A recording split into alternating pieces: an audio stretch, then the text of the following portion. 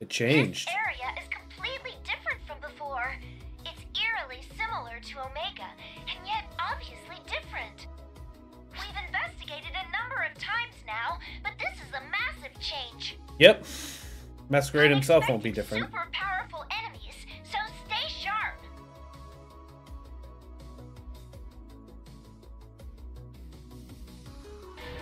And yet, didn't be that different. Just prettier. I should still be able to take him down pretty fast. Let's do this, Mask.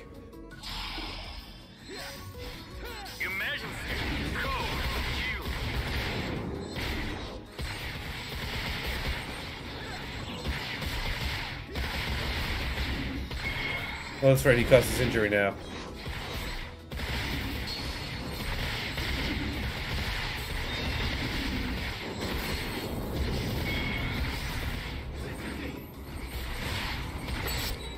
Uh-oh, uh-oh, uh-oh.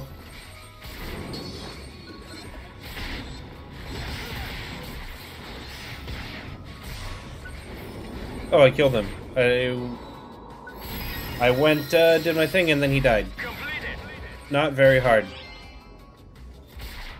Cape of Resentment. Oh. Another cutscene.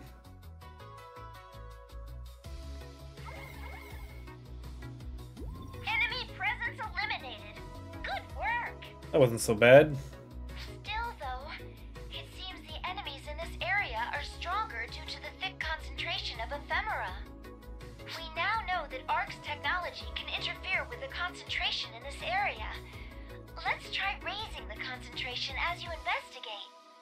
Until now, you've investigated low concentration areas, but the enemies here are on a different level. Don't do anything risky, okay? I killed him in 36 seconds. I don't think I have anything to worry about. Yet.